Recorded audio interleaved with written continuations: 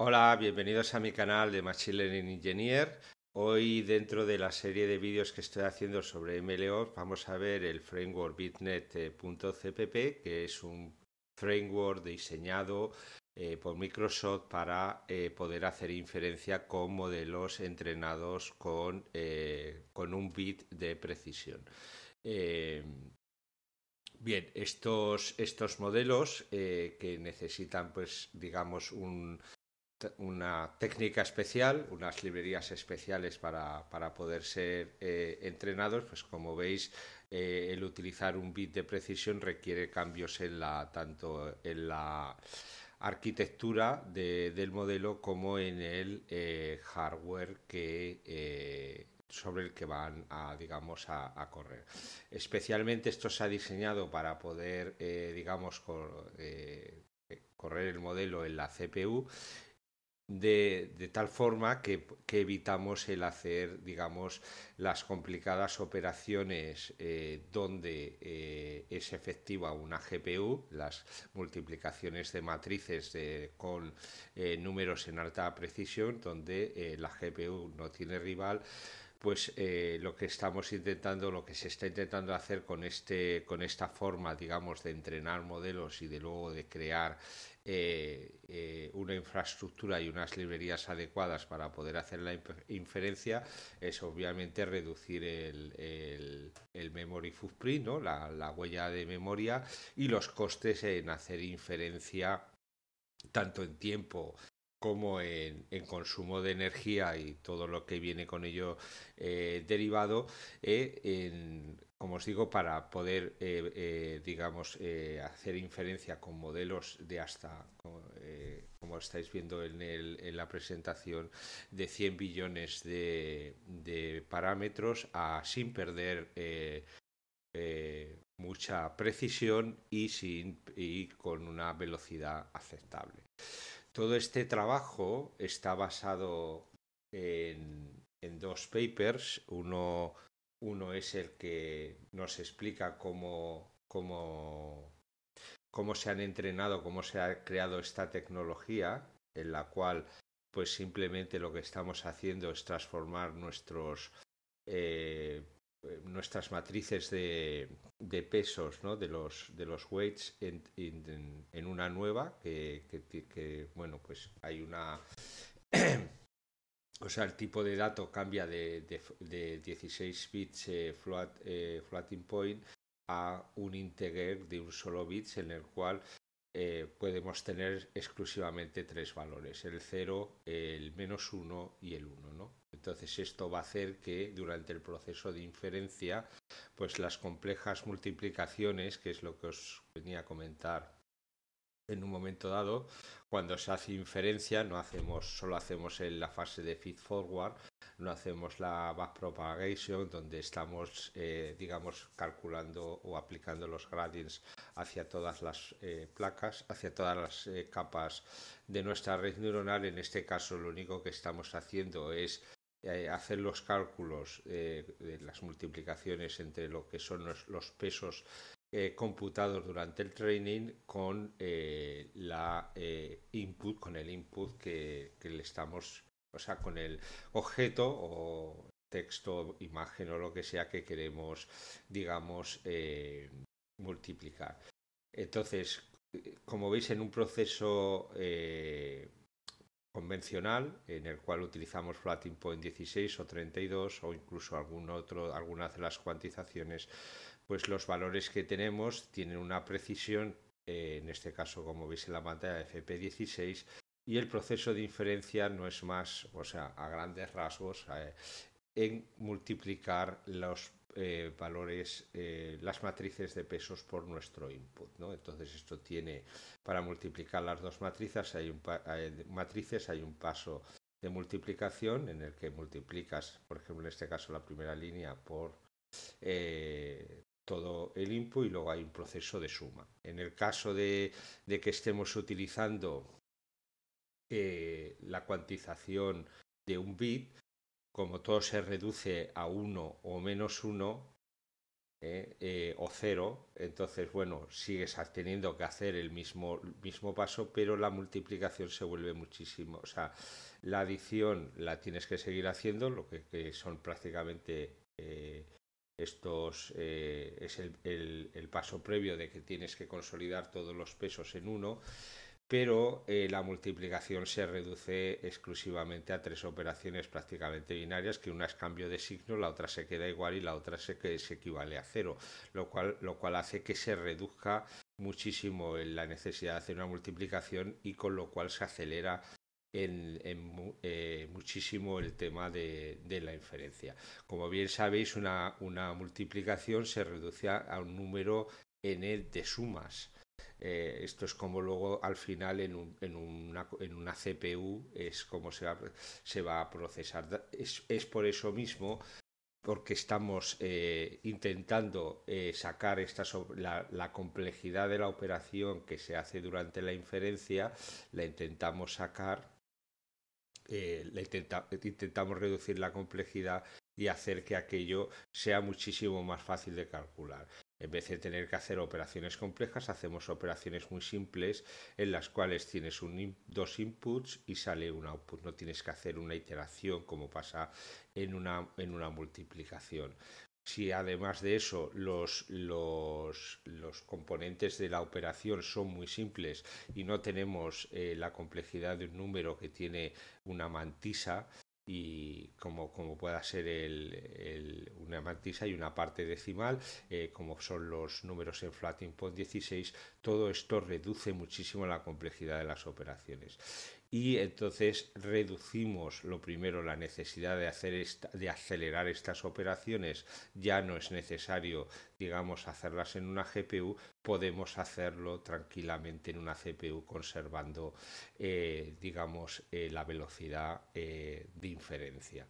El tema de, de la precisión obviamente como en todo proceso de cuantización hay una pérdida de la precisión pero eh, aun con todo el modelo sigue guardando eh, muchas de las características eh, ya que estos vectores suelen ser bastante largos, suele, suele guardar o mantener la, precisión a un nivel todavía aceptable. No obstante, esta tecnología que digamos eh, está emergiendo ahora mismo. Como veis, este, este paper está sacado en febrero de este año. El paper que, que nos habla ya de, de, Bitnet está sacado en octubre, o sea, está sacado hace nada.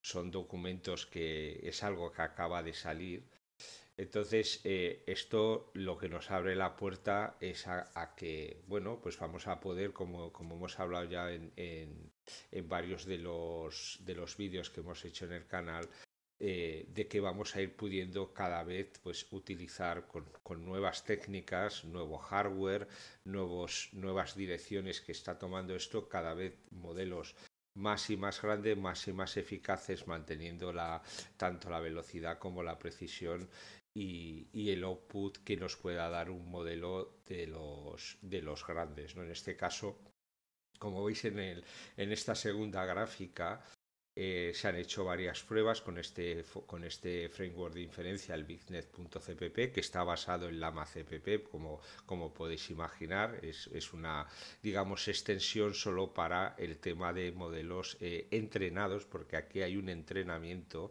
del modelo ahora os explicaré un poquito cómo se hace, con modelos de un bit.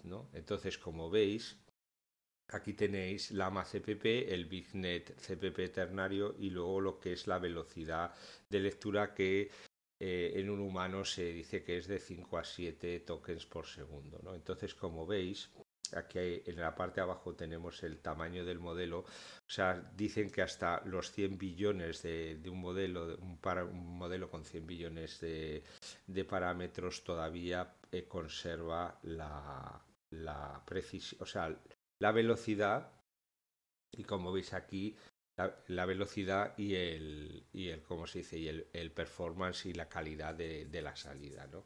De, del output que está saliendo. No obstante, esto, bueno, tiene muchos matices y como bien sabéis, esto está empezando. O sea, van a seguir habiendo se seguirá investigando en esta dirección. Como habéis visto, se ha ido cuantizando, es una, es una tendencia. Se cuantizó primero a 16, FP16, Brainflow 16, luego A8, luego A4, ahora estamos ya en 1. Eh, hemos, nos estamos quitando del medio las, las, las GPUs estamos moviéndonos a frameworks eh, mucho más económicos. Hemos visto unas cuantas de estas, eh, de estos cuantos eh, runtimes en, el canal como ONNX, OpenBino, donde comprimen los modelos, optimizan los modelos para que puedan eh, correr en una, en una CPU, no en una GPU, y todo se trata, va en esta dirección. ¿Por qué? Pues porque al final es imposible por, para un, bueno, sobre todo si quieres eh, digamos, generalizar el uso de estos, de cualquiera de estos modelos, aunque sean por tareas muy sencillas, no puedes depender de, un, eh, de una API, de un SDK corriendo en OpenAI o, o, en, o en Gemini. Estos modelos van a seguir estando ahí para cursos muy concretos, pero eh, si quieres extender esto a, que corra un modelo, a un LLM en un aparato, en un dispositivo móvil, que ya los hay, ¿no? modelos pequeños, pero ya, ya están ya hay, ya hay soluciones que están corriendo en nuestros navegadores, en nuestros teléfonos móviles, pero para generalizarlo todavía más y más y más, eh, esto va a tener que, reducir, pues eh, tiene que haber, eh, se tendrá que encontrar un compromiso entre lo que es, digamos, la, precisión o, buscar técnicas como esta que, es, que vamos a ver hoy, en las cuales se reduzca la precisión de los, de los operandos o de los componentes que estamos usando para hacer la, la inferencia o incluso el training, como pasa en este caso, y luego poder, digamos, utilizar como llevamos viendo en, los últimos meses en, en todos los vídeos, utilizar hardware de, bajo coste, de, de, bajo, digamos, no, no rendimiento, pero sí de, bajo coste, no una GPU. Las GPUs han vuelto un, objeto de lujo prácticamente, en los cuales pues están, eh, están siendo copados por las grandes empresas para poder hacer procesos de inferencia de training costosísimos que no están al alcance del, público. Esto cuando, si quieres generalizar un, un tema como este de, para usarlo en, en en millones de usuarios, tú no puedes estar usando GPUs y no, no, no, nunca lo vas a poder generalizar de, esa manera. Tienes que utilizar un hardware que, al que tenga acceso cualquier, digamos, eh, presupuesto y esto solo se puede hacer pues con lo que ya conocemos. O sea, tú no vas a, o sea, aunque pudieras, se pudiera minimizar o militarizar una GPU y correr esa GPU, insertarla en un en un dispositivo móvil eh, o, en una, o en un sistema embebido o en un sistema industrial, eso sería muy costoso. O sea, no, eh, la, la, solución a todo esto tiene que venir por soluciones como, como, la que vamos a ver hoy o como otras que hemos visto en el, en el, en el canal y, de las en las que se está trabajando. Como digo, van a seguir yo creo las dos, los dos temas, pero esto, esto que vamos a ver hoy, eh, mi opinión, eh, como siempre os digo, es una opinión, será eh, una de las, eh, todo el tema de cuantización, de utilizar eh, otros lenguajes, como hemos visto también, salirnos del Python, o, optimizar el, el, proceso, los procesos de inferencia mediante runtimes que corran en hardware barato, se, puede, se está haciendo de distintas maneras o combinación de múltiples de estas de estas maneras con diferentes lenguajes aparte del, del, del Python eh, con los runtimes para correr en GPUs en otras eh, perdón en CPUs en otras GPUs en, en, CPUs de todo tipo AMD eh, en, en las propias de Apple.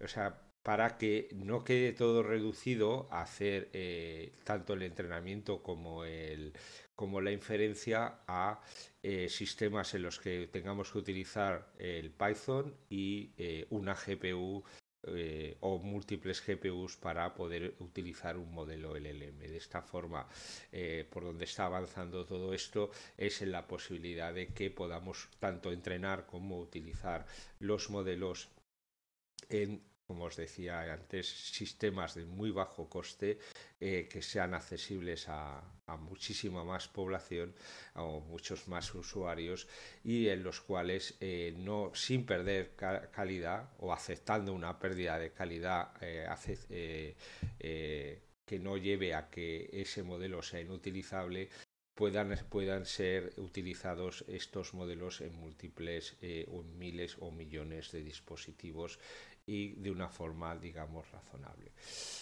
Entonces, bueno, como os digo, eh, de lo que se trata aquí, por un lado es eh, en el entrenamiento, como si os leéis luego el paper, lo que hacen es cambiar las, eh, por aquí creo que lo estábamos viendo, el, el, modelo, hay un modelo original que es donde está basado toda esta tecnología lo que están haciendo en definitiva eh, las capas lineales donde se que tienen la, forma transforma reemplazan la, capa lineal con una capa bit lineal ¿no? y entonces pues eh, se, entrena el modelo y eh, esto hace que digamos todas las ya todas las calculaciones que se hace incluso eh, la, la propagation eh, esté digamos eh, en estos términos o en estos valores en toda la en toda nuestra red neuronal en el proceso de inferencia lo que vamos a hacer pues simplemente es a calcular digamos hacer dos fases para nuestros para el cálculo de los pesos eh, utilizando lo que llaman esta, esta función de cuantización en la cual tiene dos pasos. Una calculas un ratio lo vamos a ver aquí que lo tengo preparado. Escalamos los pesos calculamos un factor de escalamiento y luego hacemos un rounding y clipping ¿no? este ahora vamos a hacer aquí un ejemplo. Tenemos unos pesos que son haceros a, la idea de que esto es el, eh, peso de una de, una cap de, en una de las de las eh, capas de la red neuronal tenemos estos cuatro valores estos obviamente tendrían muchos más decimales y entonces calculamos el factor de escalado, aplicamos la fórmula que simplemente pues es el sumatorio en valor absoluto de todos los valores de la matriz dividido por el número de eh, elementos de la matriz. ¿no? Tenemos cuatro elementos, el valor absoluto 0,3, 0,7, 0,5, 0,1, valor positivo, entonces nos da 1,6 dividido de 4 que son los componentes de la matriz, nos da 0.4. El escalado se hace dividiendo los pesos originales por el factor de escalamiento y esto nos da una nueva matriz. Y luego aplicamos la función de eh, que llaman rounding and clipping. Entonces aquí lo que hacemos, lo primero es hacer un rounding. Eh, el rounding siempre se hace desde eh, al número más alto si está por encima de 0,5 y al más bajo si está por debajo de 0,5. Entonces, en este caso, el 0.75, o sea, los valores de rounding, eh, primero vamos a hacer rounding. En este caso, el 0.75 se, se va a 1, el menos 1.75 a menos 2, el 1.25 a 1 y el 0.25 se va a 0. ¿De acuerdo? Entonces, una vez que hemos tenido esto, hemos hecho el rounding, tomas el, mínimo o el max eh, exactamente entre 0 y menos 1 y el valor que tienes en el, en el después del rounding. En este caso teníamos 1, 1 comparado con 1 se queda 1. En este caso teníamos menos 2, menos 2 comparado con menos 1 se queda menos 1. En este caso teníamos 1, se queda 1. Y en este caso teníamos 0, se queda 0. ¿De acuerdo? Y esta es la nueva matriz que luego vamos a utilizar o que se va a aplicar a nuestro input. Este proceso, que es bastante sencillo, eh, no necesitas eh, una, eh, ¿cómo se dice? Una no necesitas una GPU. Las GPUs, como bien sabéis, están especializadas en, hacer calculación de, o sea, computación de, matrices, cálculos con matrices. Para hacer este tipo luego de, inferencia no necesitas una GPU, lo puedes hacer perfectamente en la CPU sin, ya que has, lo primero has reducido muchísimo la precisión del número y lo segundo has reducido también mucho la complejidad de la operación Aquí ya prácticamente no las, multiplicaciones que tienes que hacer ya no son números larguísimos con una mantisa, una parte decimal, sino que simplemente es un 1, un menos 1, un 0, lo cual la aplicación es bastante directa. O, le cambias el signo o lo, dejas como está o lo, o lo, equiparas a cero.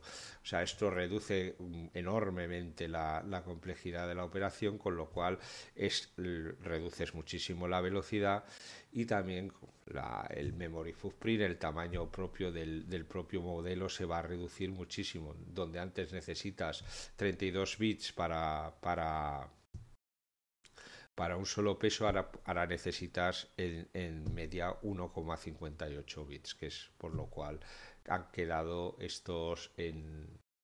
bueno, la, teoría inicial era utilizar solo menos 1 y 1, luego se decidió utilizar el 0, por eso eh, es un valor ternario de tres posiciones.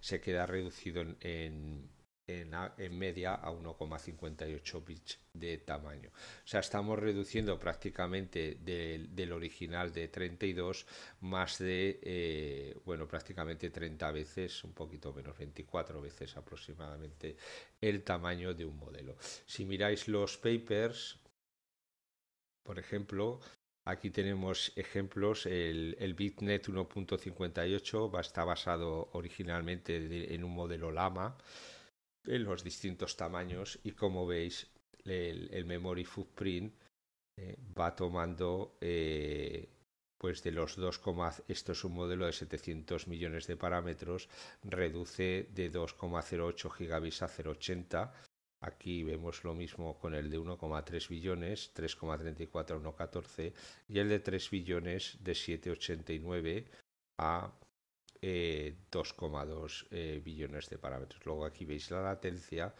en, número de segundos y el, el PP, la perplexity. Aquí veis otros, otros parámetros, estos ya son benchmarks eh, para diferentes tareas y como veis la reducción incluso es, es mínima en, estos, en estas tareas que, con las que han medido el performance, digamos, Zero Shot Accuracy en una serie de tareas. Esto sin, sin hacer few, few shot, few, shot eh, ¿no? Es Zero Shot, directamente el PRON al modelo. O sea, la reducción es eh, muy pequeña, cuando en algunos casos incluso aunque en este caso el bitnet es, es, mayor, es un modelo mayor, el de 3 billones eh, está haciendo con 3,9 y la precisión es, es incluso, eh, o el performance es mayor, ¿no? Pero como veis, el, la tecnología, esta tecnología va a hacer que, eh, o está haciendo que, que podamos utilizar modelos gigantescos, en principio, ya veis aquí el, un modelo de 70 billones de, también de la serie Lama, reducido eh, al formato bitnet 1.58, eh, tiene unos, unos valores eh, de, throughput tremendos en comparación, claro. y esto, no pensar que esto se está ejecutando en una GPU y esto en una CPU. Otra cosa que también estamos reduciendo no solo es, como estáis viendo, los, los Lama de 70 billones en, en una en una eh, en, en, GPUs de 80, giga, 80 gigabits, que esto es otra cosa que no está al alcance de cualquiera. Bueno, leeros eh, los dos documentos son, son muy buenos, sobre todo para, para tomar eh, una idea de lo, que, de lo que es esta tecnología y todos los detalles. vamos, hacer lo que queráis, eh, podéis quedaros solo con, con, ver el vídeo si queréis y ver los, los, resultados, pero bueno, siempre es bueno tener un, un poco de, o entender un poco el, eh, todo, todo el proceso que ha llevado a esto y por dónde van las tendencias de la, de la industria y de las investigaciones que se están haciendo, que como veis van en muchas direcciones. ¿eh? Están aplicándose a hardware, a la arquitectura, al software, se ha creando librerías, eh, digamos, técnicas que aceleran tanto el training como, como la inferencia. Recientemente hemos visto VLM hemos visto como, eh, como, bien sabéis los runtimes, eh, hemos eh, hecho bastantes ejemplos de, de, inferencia en CPU con, con OpenVINO y con ONNX y tanto en Python como en, en C Sharp, en .NET. Y bueno, como veis, esto no para. Es, es impresionante Aquí hay unos kernels optimizados, que es un poco lo que hace eh, Lama CPP.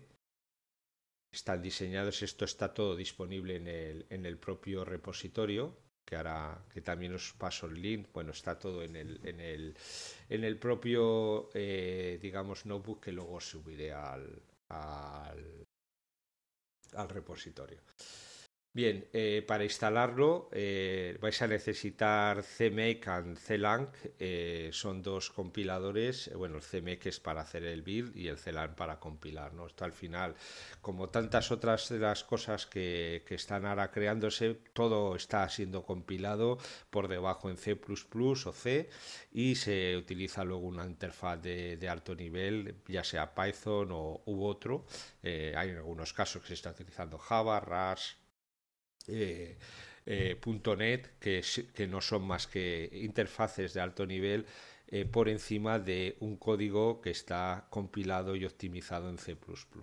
Es el mismo proceso que estamos utilizando en la MACPP y aquí pues eh, simplemente eh, para, estos son los prerequisitos os tenéis que hacer esto lo he utilizado yo en un Debian eh, pero te sirve lo mismo para un Ubuntu 2204 o Debian 9 que es el que tengo yo en un Windows Subsystem Linux apt update instalas las librerías esenciales te instalas el CMake te instalas CLang si no lo tienes ya y eh, te haces un clon del directorio, te creas un entorno. Esto es todo, todo de la. está bien aquí en la parte de. de en las propias instrucciones, ¿eh? no, no, me he inventado nada, está sacado de aquí solo por comodidad. ¿eh? No, y luego eh, una cosa que, bueno, supongo que es que estos, eh, esta gente tenía instalado el, el propio Hugging Face eh, CLI. Si no lo tenéis instalado, instalarlo porque si no, durante la, la fase de, de, configuración del... O sea, en, aquí creamos el, el requerimiento, los requerimientos no nos viene el Hugging Face Hub. Por cierto, que no lo he puesto yo tampoco. Esperaros un segundo.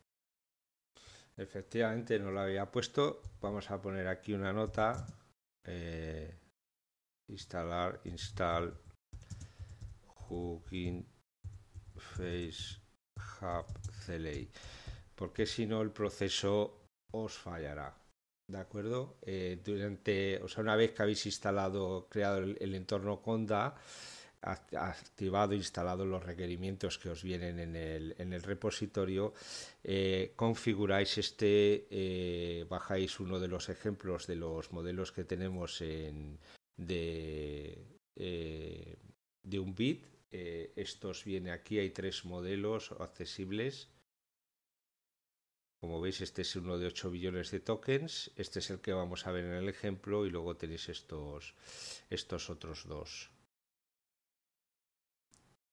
Y eh, cuando haces el setup environment.py, se trata de bajar este modelo. Si no tienes el Hugging Face CLI, no te va a funcionar. El bajarse el modelo, simplemente, creo que lo tenemos aquí todavía. A ver si estos unos ejemplos que he hecho de inferencia. Vale. Si veis aquí, una vez que instalamos el CLI, aquí ejecutamos el Python setup environment, compila el código, baja el modelo, lo convierte a GGVF y luego hace la cuantización. Perdón, hace la, la,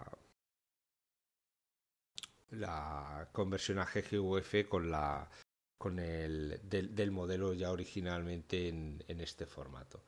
Una vez hecho eso, podemos hacer inferencia, ¿eh? pero como os digo, esto va a generar unos, unos binarios eso, eh, que son los que va a utilizar la propia librería para hacer la inferencia.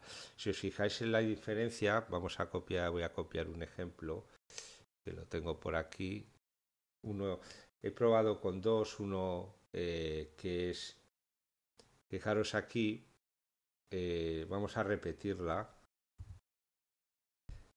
Para hacer inferencia viene un, un script eh, en el propio repositorio que se llama runinference.py, podéis echar un vistazo, es simplemente carga el modelo, es como el lama GPP, CPP, exactamente lo mismo. Entonces vamos a, a cargar el modelo, el, el Lama 3.8 a 1,58. Estos 100 billones significa que se ha entrenado con 100 billones de tokens. Y el modelo resultante ha sido el modelo en I2S con em, formato GGUF. Y aquí estoy pasándole uno de los eh, para que veáis el que no se pierde mucha prácticamente calidad. Eh, estoy pasándole uno de los prompts que suelo utilizar para mirar el tema de chain of thoughts, ¿no? de cadena de pensamientos. ¿no? Eh, de estos estos eh, son complejos, como, como bien sabéis, y, los modelos. De hecho, este modelo el, el Lama 3.8b, en las primeras pruebas que hice, eh, bueno, esta, esta, esta pregunta en concreto, este problema lo, sacó bien, pero eh, no, no fue un modelo que dio demasiado buen rendimiento en, en definitiva. Eh, fue, un, fue bastante modesto en, en, los resultados. De los cinco o seis prons que, que, suelo mandarles o suelo testear con, los modelos, eh, falló en dos de ellos eh, cuando era un modelo que a priori es, bueno, comparado con otros, pues no, no era, un, era un tamaño, por ejemplo, comparado con el Mistral 7 billones, pues es un billón de más grande, ¿no? O con modelos como el Microsoft Phi, que lo sacó todo perfecto, eh, pues este modelo duplicaba el tamaño. Entonces, bueno, aquí sorprendentemente, si os fijáis en el, el, PRON, dice, me fui al mercado, compré 10 manzanas, le doy dos al vecino y dos al, al handyman. Eh, y luego voy de nuevo al mercado y compro 5 y eh, cinco más y me como uno. ¿Cuántas me quedan? Y como veis, al final eh, él está contestando correctamente. 10 apples, ¿no? Que, que o lo hace bien. Eh, lo contesta correctamente para que veáis que en un, incluso con un, solo bit de cuantización el modelo no ha perdido demasiado eh, tamaño. Vamos a ver en un momento, eh, creo que está aquí, el, si os fijáis este modelo es un 6 tensos de 3,85 gigabits. Esto es el entrenamiento hecho con, eh, con esta técnica que, eh, que, nos viene en este paper. Una vez hecha esa técnica, lo, lo, que hacemos con este otro framework es cuantizarlo, bueno, más bien convertirlo a formato GGUF. Entonces, vamos a ver un segundo. Un segundito. Efectivamente, que no, me acordaba dónde tenía esto. Veis el modelo, el, eh, cuando bajamos el modelo de Hugging Face Hub, eh, esencialmente lo, nos lo baja a Models, el AMA 3, bla, bla, bla. Esto lo baja directamente el script que convierta a GGUF. Y como veis el modelo, eh, el original de Floating Point 32, tiene 32 gigabits, el original de eh, el entrenado eh, en, formato eh, Transformers, digamos, tiene 3,8 y el convertido a i2 en formato GGUF tiene 3,85. Si lo veis esto funcionar, aquí le vamos a pasar directamente pues el Run Inference, le pasamos el modelo, le pasamos el, PRON, esto que es que me genere 300, 256 tokens, la temperatura y la ventana de contexto de 4096, que es la máxima que tiene este modelo. Entonces, como veis, esto los que estáis familiarizados con, con Olama o con, o con la MACPP, pues os, os, eh, dice, os sonará muy familiar.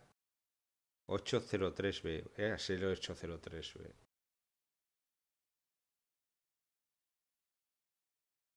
Pero esto, eh, bueno, en principio vais a ver que, que bueno, una, también es cierto que esto es una, como siempre os digo, esto es una máquina doméstica. No solo estoy haciendo la inferencia, eh, posiblemente muchos de los escenarios esto tampoco va, va a ser así.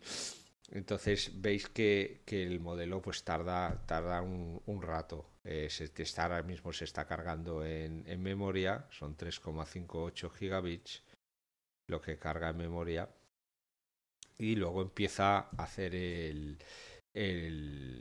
la inferencia. Yo para mí, o sea, eh, me gustaría ver exactamente cómo han hecho todas las pruebas porque eh, yo esto que, nos dicen aquí del, del, del, esto todavía no lo, no lo he podido reproducir. Esto que nos dicen aquí de, de esta inferencia. O sea, estamos en un modelo en estas, en este más o menos por aquí. O sea, eso significa que deberíamos estar eh, sacando, eh, digamos, 52,36 52,36 eh, eh, tokens por, por, eh, por minuto. 22,36 tokens por minuto. Voy a esperar que... Mm, mm. Token segundo.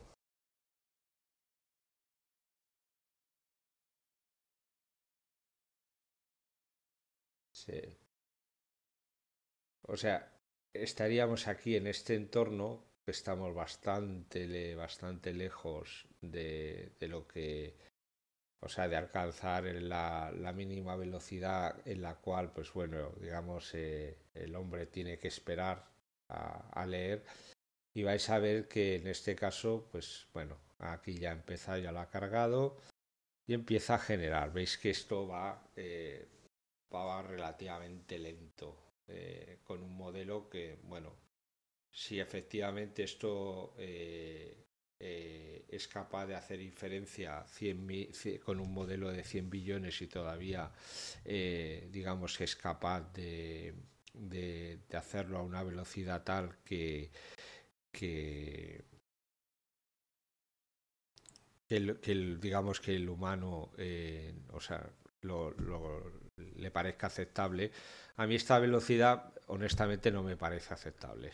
Pero bueno eh, digamos que esto eh, es, es, como os digo, es una CPU doméstica, eh, no es nada el otro mundo y, y bueno, pues en principio el, supongo que las, las, pruebas las han hecho en un entorno laboratorio donde solo se dedica el, eh, ese, esa máquina al, al proceso que, que al proceso de inferencia, no como está pasando aquí, que si yo estoy grabando tengo un montón de, de ventanas abiertas, que todo eso, pues poco o mucho ocupa ocupan instrucciones de la CPU y ocupa memoria.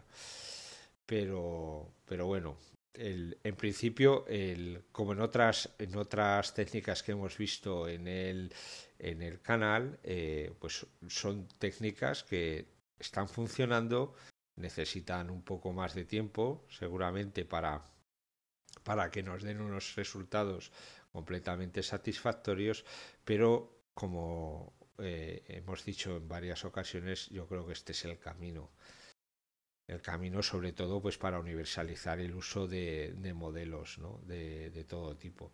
Este modelo es uno de los eh, de los últimos que hay ya tiene incorpora todas prácticamente casi todas las las técnicas eh, modernas ¿no? en todos los mecanismos de atención con lo cual eh, bueno si, si somos capaces o si, si es capaz la, la técnica de, que este modelo se se, se, pueda correr en un dispositivo de, de, de bajo nivel y con eh, con una velocidad aceptable y con un rendimiento aceptable, pues es un, es un paso gigantesco.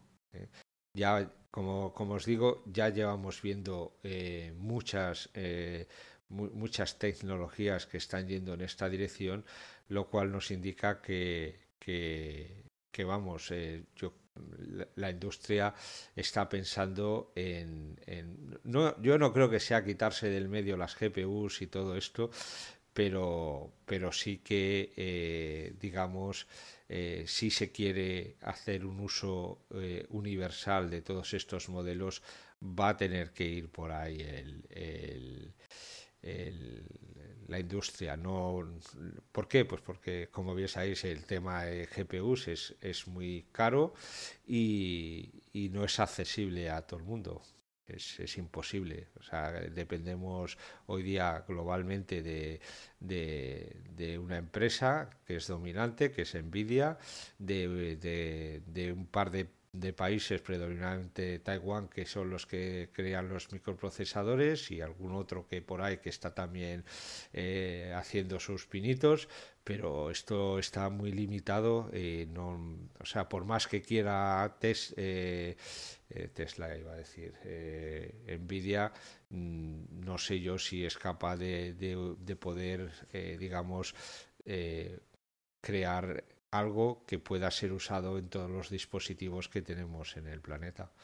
Eso yo, yo creo que, que aparte que luego sería un riesgo, ¿no? ¿No creéis vosotros también? Digo, si todo depende de una empresa en el mundo, pues es un riesgo gigantesco. Porque si esa empresa por cualquier cosa eh, se va, qué es lo que pasa con todos los billones de dispositivos que tenemos en el mundo, pues eh, no, no, es una solución. No se puede tener un riesgo de, ese, de esas características y, y bueno, supongo que, que, lo mismo que, digamos, esta es una reflexión que hago en, en alto, esta misma reflexión otras gentes la están haciendo también y por eso está, está yéndose todo esto a eh, a otro tipo, eh, digamos, a otras alternativas que hagan que esto, pues, eh, digamos, se pueda usar de una forma más universal, ¿no?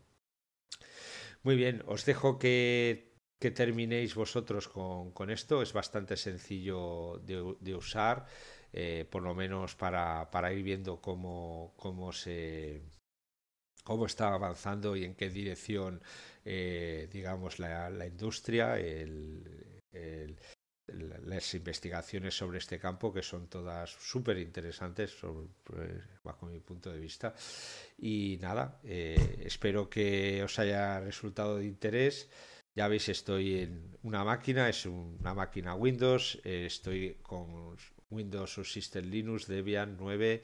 Eh, una GPU que no se está usando, está usándose eh, la CPU en este caso, como veis aquí, CPU, el, el típico Key Value Buffer eh, con nuestra caché de 512 megabits está ejecutando todo en, en, en, en mi CPU a la vez que estoy grabando el vídeo y bueno, pues eh, estamos usando un modelo Lama de tres, originalmente 8 billones de parámetros en la CPU. Y bueno, lo dicho, aunque es un poquito contradice un poco la, eh, todos los buenos resultados que se ven en el paper, pero nos tenemos que poner en el contexto de que seguramente eh, la gente que ha sacado el paper está utilizando para hacer la inferencia un entorno dedicado, cosa que no estoy haciendo yo posiblemente podíamos tomar una máquina en, la, nube y, ver cómo, funciona esto en una máquina dedicada que para, este, para esta prueba en, concreto. Yo, para mí, queda, digamos, eh, es suficiente con lo que estoy viendo. Eh, hay que, darle, digamos, todavía un margen a esto, a este, a esta tecnología, a estas librerías que están que están desarrollando porque acaba de salir, ya lo habéis visto, esto ha salido en, eh, en, octubre, o sea, estamos en noviembre, entonces esto tiene mucho recorrido. Y veis, y como os he dicho durante el vídeo, la tendencia es esta, es cuantizar, es... Eh, irse a trabajar a las CPUs, comprimir los modelos, eh, optimizar todo para sacar eh, y, reducir la complejidad, reducir el, eh, sí, reducir la complejidad, reducir la precisión, utilizar ¿cómo se dice?, lenguajes compilados eh, eh, cercanos a, al, código fuente, como está haciendo, eh, perdón, cercanos al procesador, y utilizar solo los lenguajes de alto nivel para, digamos, para hacer interface con el, con el modelo. con, el, con el propio, digamos, con la propia herramienta de inferencia y sacar todo lo que podamos las, las GPUs, especialmente para la inferencia en la inferencia eh, no deberíamos utilizar nunca una GPU. Esa es mi opinión. Si, tú tienes que hacer inferencia y necesitas una GPU, tienes un problema. Tienes un problema especialmente de costes. Eso es así. O sea, si sabéis lo que valen las máquinas con una GPU, una máquina bananera, eh, digamos, te cuesta una fortuna. O sea, no puedes estar haciendo inferencia en una GPU tienes que hacer inferencia en una CPU y a un precio muy razonable. ¿Por qué? Porque esto tiene que ser universal. Los, las pruebas en los laboratorios no nos valen más que para eso, para probar que una tecnología funciona, pero si tú quieres universalizar un, componente, no puedes utilizar un hardware carísimo. ¿O qué pasa? ¿Todo el mundo nos podemos comprar un Bugatti? O no, no podemos, nos tenemos que comprar utilitarios, que es esto que estamos viendo aquí. Bueno, esto, como os digo, es una reflexión en alto. Eh, eh, espero que os haya servido, que os haya que os sea de interés el, lo que habéis visto en, en este vídeo. Eh, os mantendré informado de todas las cosas que voy que voy viendo, que voy descubriendo por ahí en, en las cosas que leo y donde me meto o los proyectos que hago. Y nada, lo dicho, si os ha interesado y, servido, pues darle un like, suscribiros al canal si no estáis suscritos y, y hacer comentarios y todo ese tipo de cosas pues para ayudarme a crecer en YouTube. Venga, un saludo, hasta pronto.